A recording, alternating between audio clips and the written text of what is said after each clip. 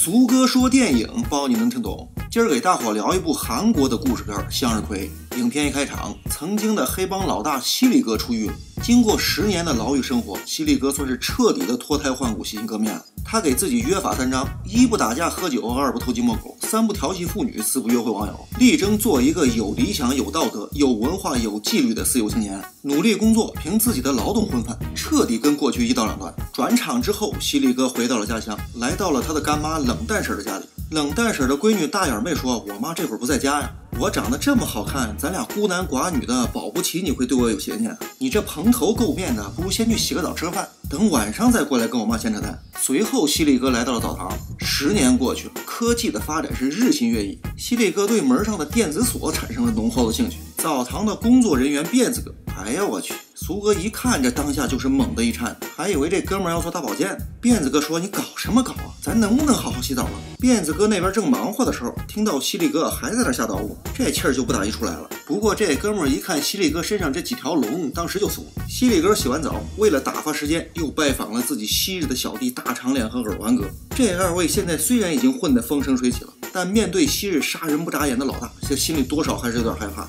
见到自己的干儿子出狱，冷淡婶非常的高兴，不停的往犀利哥嘴里喂饭，把犀利哥噎的是直翻白眼儿。大眼妹说：“我们家可不养白吃饭，以后这挑水掏粪赶猪进圈，脏活累活啊，你必须都得抢着干。而且我这人特别的刻薄，你想让我把你当亲哥哥那样对待，不可能。虽然我不知道你为什么会成为我妈的干儿子，但既然你以后要住在我们家，那就不能惹我生气，什么事都得顺着我。”转过天，犀利哥来到了医院，希望医生能把他的纹身给去掉。医生说：“你这可是件艺术品呢，留着呗，兴许过几年还涨价呢。”转场之后，冷淡婶找到了市议员鸡贼叔。冷淡婶说：“孙子，你丫就死了那条心吧，我是绝不会把餐厅卖给你。你呀要是敢欺人太甚，到时候老娘就给你同归于尽。”犀利哥正在汽车修理铺干活的时候，警察小米眼带着手下刚好打这儿路过。小米眼说：“瞧见没？那就是传说中的犀利哥。高中退学之后就开始惹是生非了。当年炮灰哥是咱镇上的黑帮老大，可两年之后就被犀利哥给拿下了。大长脸和耳环哥当年是犀利哥的马仔。犀利哥入狱之后，被犀利哥挑断脚筋的拐棍叔和曾经当过皮条客，现在是市议员的鸡贼叔联手，成了咱镇上最大的黑帮，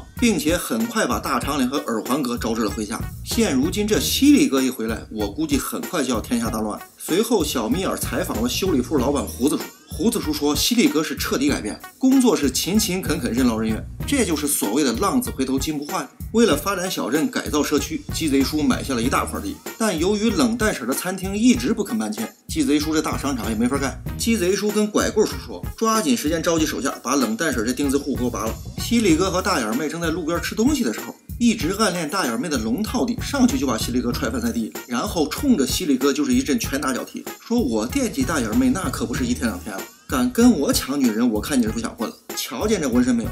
我爱大眼妹。就在这几个小混混冲着犀利哥施暴的时候，无意中把犀利哥的衣服给撕烂了。几个人一看犀利哥的纹身，全都吓尿了。到了晚上，鸡贼叔把大长脸和耳环哥召集到了一块儿，说：“冷淡婶的向日葵餐厅，你们到底打算怎么办？”由于耳环哥知道犀利哥和冷淡婶的关系，因此这哥们没敢吭气儿。吃瓜的大长脸说：“大哥，这事儿好办，我明儿就带弟兄们去把那餐厅砸个稀巴烂。”转过天，大长脸带着手下来到了冷淡婶的餐厅。大长脸进屋一看是犀利哥，当时就吓尿。犀利哥上去就掐住了大长脸的脖子，说：“赶快带着你的人给我滚蛋，不然我就把你的腿给打断。”鸡贼叔坐着车经过冷淡婶的餐厅的时候，一看还没搞定，这气儿就不打一处来。拐棍叔说：“这餐厅是犀利哥罩着。”大长脸和耳环哥根本就不敢动。犀利哥第一次发工资就给冷淡婶买了一双鞋。犀利哥说：“我欠你的太多，无以为报。”把冷淡婶感动的是不要不要，娘俩相拥而泣，场面十分的感人。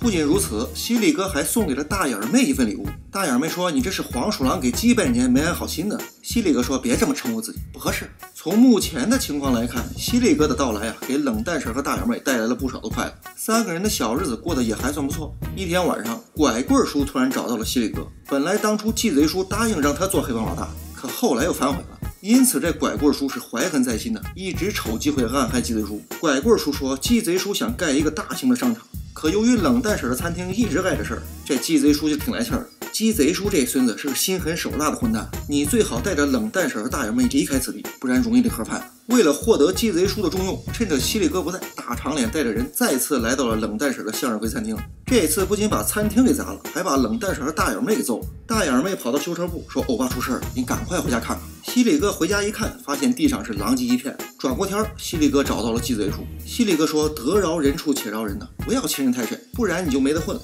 鸡贼叔知道犀利哥的头不好剃，于是眼珠一转，心生一计。他派人故意去找犀利哥的茬，想逼着犀利哥出手，然后再把犀利哥送进监狱。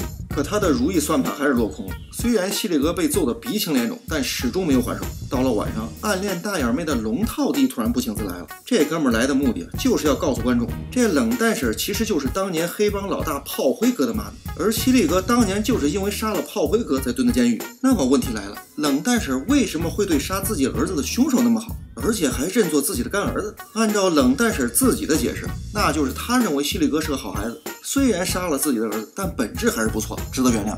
但是仅仅因为这个理由，听上去似乎有些扯淡，也站不住脚。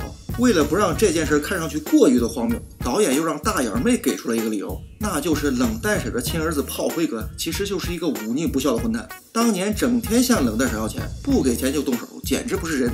转场之后，冷淡婶再次找到了鸡贼叔。原来当年是鸡贼叔派他儿子去打的犀利哥，最后炮灰哥嗝了屁，犀利哥进了监狱。冷淡婶说：“我手里有我儿子写的日记啊，那上面可是有你当年指使他干坏事的证据。你要是把我逼急了，我就把这事儿给捅出去，让你丫身败名裂，名誉扫地。”到了晚上，犀利哥突然接到了拐棍叔的电话。拐棍叔说，鸡贼叔为了杀人灭口，可能要对冷淡婶动手，你们最好小心点。转过天，大眼妹正过马路的时候，突然就被鸡贼叔派的人给做蒙圈了。冷淡婶意识到是斗不过鸡贼叔这臭流氓了，于是便跟犀利哥商量之后，便打算卖了餐厅，离开小镇。不过冷淡婶手里那本日记，对鸡贼叔来说，那可是一颗定时炸弹，让他整天的睡不好觉，吃不下饭。俗话说，该断不断，必留后患。为了拿到那本日记，鸡贼叔派耳环哥到冷淡婶的家，把冷淡婶给杀了。这下可捅了马蜂窝了。一直隐忍的犀利哥赤手空拳就来到了鸡贼叔的夜总会。韩国电影在暴力美学方面的表现呢，一直都让人刮目相看。这部影片也不例外。影片的最后，犀利哥嘁里咔嚓把这帮人全给杀了。看完这整部影片，我们还是来首唐诗压惊：做人必须有分寸，办事不要太过分，得饶人处且饶人，不然以后不好混。